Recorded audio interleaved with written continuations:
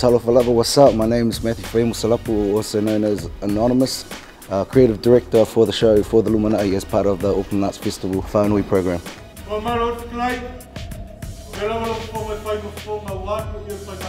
I've, I've always grown up watching my father engage in a lot of Samoa stuff where he's standing there with his to'oto'o in the foyer and it kind of reminded me of battle rap, going at it using words against the other orator and it have his village or family behind him and I was like, hey, that's kind of like a battle scene, you know, growing up as a big hip hop fan. This project provided the best opportunity to kind of bring those two words together, that of social culture, hip hop culture and traditional ethnic Samoa culture.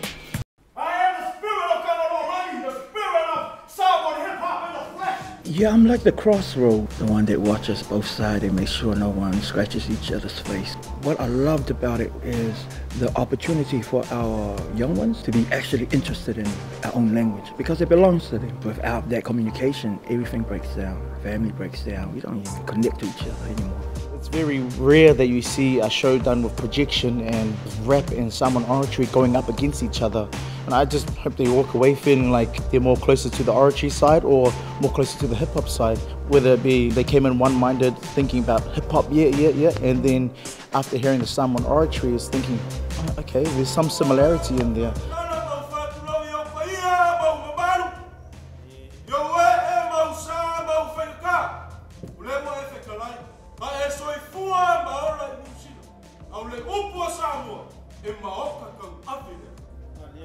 But in Samoa, we carry that pride as high as the birds fly.